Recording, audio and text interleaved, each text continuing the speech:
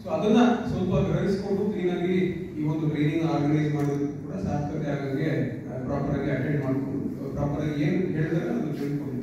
ಸಾಕಷ್ಟು faculty members ಕೂಡ ಬಂದಿದ್ದಾರೆ. ಅವರು ತುಂಬಾನೇ ರಿಸರ್ಚ್ ಮಾಡಿ ಏನು ಅಂತ ಯಾರನ್ನ ಕರೆಸಬೇಕು ಎವ್ರಿ ಸೆಷನ್ಗೆ ಅಂತ ಆಲ್ಮೋಸ್ಟ್ ಒಂದು ವೀಕ್ ಟೆನ್ ಡೇಸ್ ಇಂದ ನಮ್ಮ ಆಫೀಸ್ಗೆ ಬರೋರು ನಮ್ಮ ಮಂದಿ ಜೊತೆ ಪ್ರಾಪರ್ ಆಗಿ ಅಟೆಂಡ್ ಮಾಡ್ಕೊಳ್ಳಿ ಅದಾದ ನಂತರ ನಿಮ್ಗೆ ಏನೇ ಯಾವುದೇ ರೀತಿ ಸಂಶಯಗಳು ಅಥವಾ doubt laws, entire criminal justice system has changed.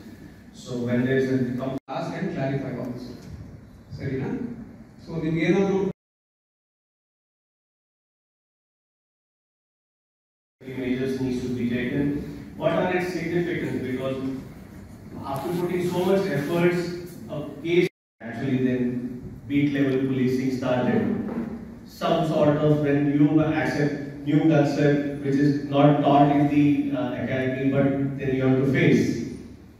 But here we are lucky that at least um, uh, some sort of efforts is being made by the Ministry of Home Affairs, Government of India, to provide insights about uh, the newly enacted laws, what are the motive behind uh, introducing these laws. Uh, during these three days of uh, training program, uh, we will be having a lot many experts who are on the field, like public prosecutors, uh, some of my colleagues also are lawyer by their professions. And also, uh, just to bring it to your notice, sir, uh, I'm pleased to share with you that uh, till now, the Rashtriya Raksha University Shivamogga campus has trained almost 5,000 plus uh, training officials of Mumbai Police, Goa Police, and almost will be completing uh, Goa Police and Mumbai Police entirely span next few months. So that also shares uh, an experience where we are like when we started, uh, we also were a little skeptical that oh we are from academic institution. But then uh, I would like to commend my distinguished colleagues, Ms. Harshita Mishra and Dr. Kaveri who very thoughtfully curated the training module comprising of a mixed balance of academics, operational people who are actually in the field, like the people who are facing these laws, implementing these laws, and interpreting these laws. So uh, that creates a security situation based on its utility.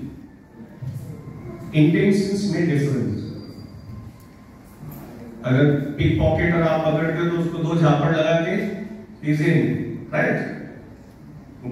if the same Kasab kind of situation is there, then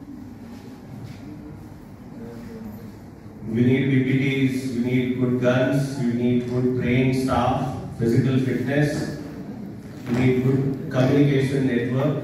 Any uh, murder case you want to investigate, we need a proactive entities to cater you uh, communication devices, technological uh, superior things you need to access. All this will enable you. What are these? These are the elements of security governance. And who are you? State police. You are the enforcing entities. So this is in a brief